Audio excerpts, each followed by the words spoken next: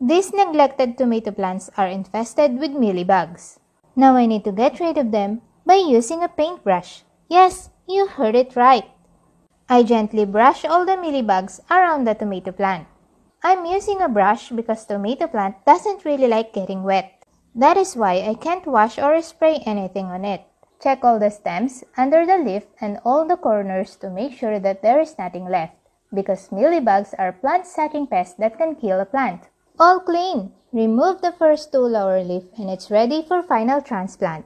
And if you are interested in growing heirloom tomatoes, I'm selling my homegrown seeds. Just send me a message in my Facebook page for more information and how to order. There are so many varieties available. Happy tomato planting!